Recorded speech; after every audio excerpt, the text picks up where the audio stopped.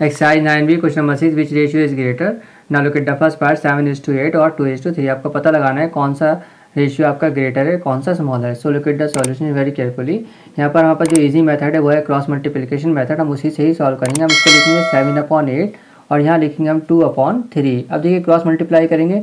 इस एट की टू से मल्टीप्लाई करेंगे, इस थ्री की सेवन से करेंगे। यहाँ पर एक बॉक्स बना लेते हैं। थ्री सेवन ज़ा twenty one and eight two ज़ा sixteen now which is greater 21 is greater in the comparison of the 16 so 7 is to 8 is greater.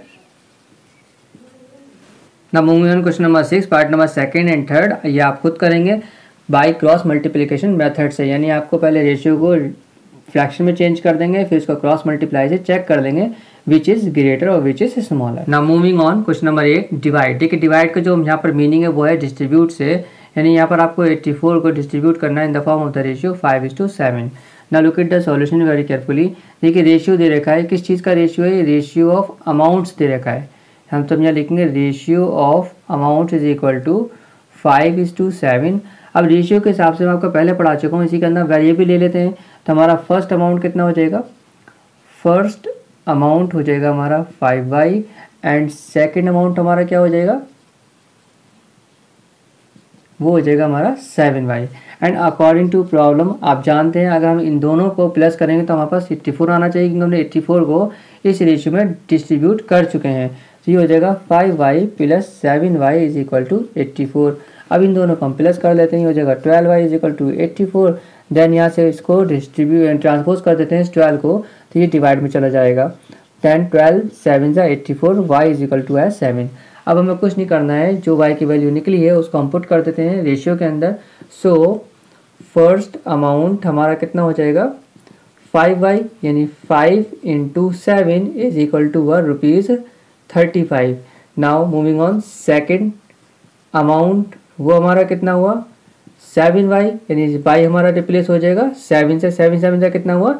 Rupees forty nine question number eight part number first हम कर चुके हैं। Second part बिल्कुल वैसे ही होना है, जैसे हमने फ़र्स्ट पार्ट करा है। ना मूविंग ऑन थर्ड पार्ट देखिए यहाँ लेंथ दे रखी है one metre seventy one centimetre इसे हमने डिस्ट्रीब्यूट करा है in the form of the ratio eleven is to eight अब देखिए यहाँ पर दो यूनिट हैं one metre seventy one centimetre so look it the solution carefully सबसे पहले हम जो लेंथ है one metre seventy one centimetre इसे हम चेंज कर देंगे इन सिंगल यूनिट यानी हमारे पास हो जाएगा one hundred seventy one centimetre because you know very well that one metre is equal to होता है हंड्रेड सेंटीमीटर ना मूविंग ऑन अब देखिए रेशियो किस चीज़ का रेशियो ये लेंथ का है तो ratio of length is equal to eleven is to eight अब देखिए रेशियो के हिसाब से जो फ़र्स्ट लेंथ है हमारी फ़र्स्ट लेंथ वो कितनी हो गई? Eleven y and second length हमारी कितनी हो गई?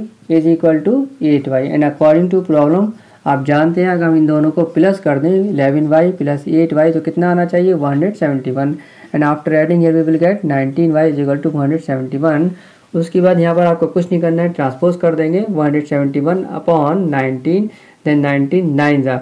y इज़ इक्वल टू कितना है? नाइन आया। अब सो फ़र्स्ट लेंथ हमारी कितनी हो जाएगी?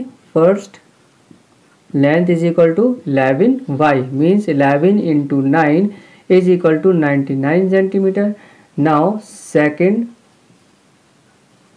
length वो कितना है हमारा? एट वाई देखिए, अब यहाँ पर हो जाएगा एट इंटू नाइन यानी ये हो जाएगा eight nine the seventy two centimetre number one question number eight part number four three litres in the ratio one is to two two is to ना लुक द सॉल्यूशन केयरफुली सबसे पहले हम three litre को change कर देंगे मिली litre के अंदर। ये हो जाएगा हमारा थ्री थाउज़ेंड मिली लीटर अब रेशियो क्या दे रखा है हमें रेशियो दे रखा है one is to two two is to मैंने आपसे पहले ही कहा था, जब भी रेशियो दे रखा होता है तो हम इसे वेरिएबल लगाकर एक वैल्यू में चेंज कर देते हैं। तो यहाँ पर हो जाएगा so first value first value कितनी हो जाएगी आपकी? One y second value second value कितनी हो जाएगी आपकी? Two y and third value is equal to हो जाएगी three y and according to problem मैं आपको पढ़ा चुका हूँ कि अगर हम इन तीनों को प्लस कर दें तो कितना आना चाहिए हमारे पास?